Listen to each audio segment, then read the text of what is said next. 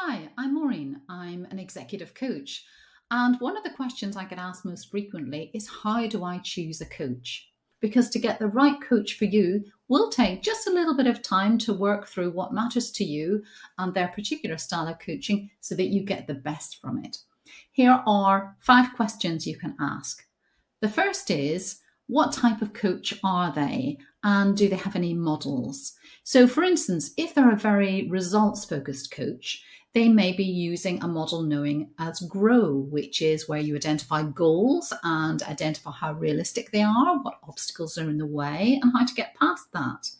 If they're a performance coach, it will all be about making an impact in the workplace and improving their performance, perhaps with a chance where someone might be promoted or move into a new career.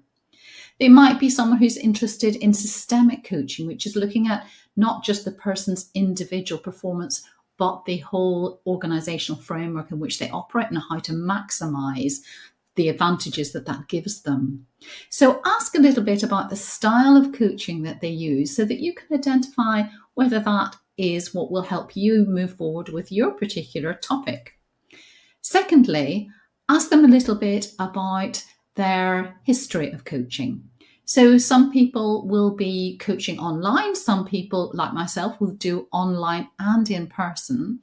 And you might be more comfortable with one or the other. I find that when people are very busy, coaching, as I do on Zoom, is a really good way of making sure that they can actually identify a space where they can be reliably there on time.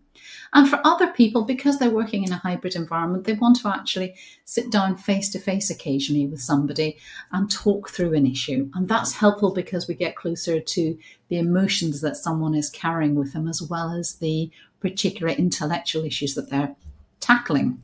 The third question might be Do they have any particular type of accreditation? If you're at all interested in coaching, you'll see that there are a range of different types of accreditation and ways in which people can become a coach. In executive coaching, they're a little bit more uh, structured. So, for instance, I've trained at Henley Business School in a professional certificate in executive coaching. And like many other coaches, I've also achieved the International Coaching Federation accreditation. And why I find that helpful, although it's not essential for a coach to have this, it does bring in some ethics to the issue, such as whether we offer a contract, uh, what the contract terms are, so that they safeguard both the client and the coach. And how do we make sure that we really do give time and presence to the person that we're coaching and create that atmosphere of trust on which it is all based. So, an accreditation or just how someone feels about accreditation will tell you a little bit about the nature of the two way relationships that you might have. And the next question will be how long will the coaching sessions last and how many are in a particular program? You'll find that many coaches operate on a three, six month, or even 12 month contract whereby they stagger uh, the sessions throughout that time. And the next question, of course, is the one that everyone wants to know what is the pricing? Well, the pricing is, contrary to popular belief, not necessarily per hour because a coach doesn't just turn up for an hour, do a coaching session, and there's nothing more to it. There's preparation involved. They're thinking about the most appropriate and powerful questions that can help a client. We're also making sure that we have got our own ethics in place, that we understand the confidentiality to the client and to ourselves. So if we are looking at really high performing coaching, the chances are we're also having our own supervision, which comes at a cost. So all of those costs are built into a program, and a program can vary enormously in cost. You will find that many of them are in a four figure sum and it depends on the length of time. But the question that is helpful to clients when we're talking about money is what is it worth to you to make that change and to overcome that obstacle? And that helps people really think, well, actually, that change would make such a significant difference to my life that it probably is worth the investment. And that's if someone is working on a one to one basis with a coach.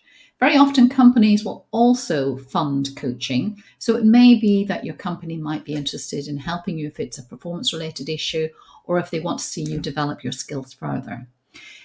Either way, most coaches will want to have a discussion about what's required, the appropriate package, and the investment that's required. Please don't let money be the stumbling block because if it's staggered across a number of months or even longer, it can be much more affordable than you might think. So, finally, now you've gone through all of those questions and have a stronger sense of the coaching questions you might ask, just book what we call a discovery call, a chance to meet the other person, because that two way discussion is your chance to identify am I on the same wavelength as this coach? Will this coach really be able to help me? And if so, when do I start? Thank you.